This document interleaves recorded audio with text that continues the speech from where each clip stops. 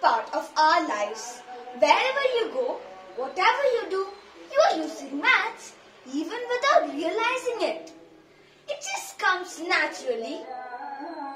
Now, let us see some real life maths applications in my daily life. Maths helps us with day-to-day time management. Plan my activities for a day by dividing the day into different time slots like breakfast, food, activities, online classes, etc. Without maths, how could we plan a day-to-day activity?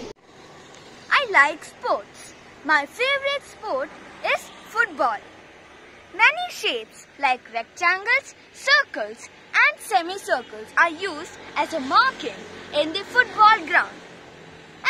Course, the football is spherical in shape.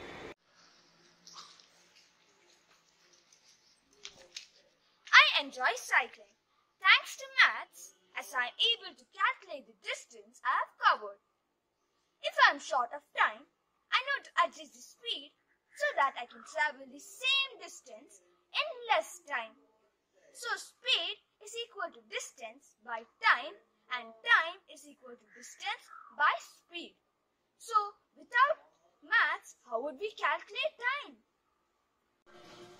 This lockdown has enriched my cooking skills. For making a cake, you have to measure some ingredients using different measurement spoons. So, is it weighing and measuring also a part of maths? Now let us come to our nature. What does maths have to do with flowers? Hmm, more than you'd think, 1 plus 1 is 2 and 2 plus 3 is 5. The arrangement of leaves on a plant stem and petals on a flower head all represent successive numbers in the Fibonacci series.